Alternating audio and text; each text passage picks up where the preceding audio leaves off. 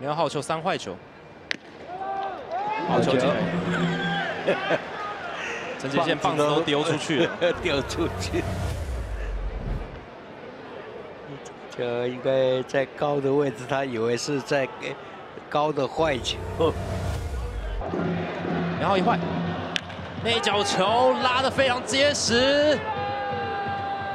来看最后的落点是在界外，又是界外。对，怎么全垒打都在界外？杰宪非常有信心啊打出去，好帅。对，棒子一丢，很有气势啊。对啊，你一直攻我的内角，还有准备要打内角，完全咬中啊，但出棒早了一点。看陈杰宪打出了一个界外全垒打啊，就在标杆的旁边呢。来看球的这个路径哦。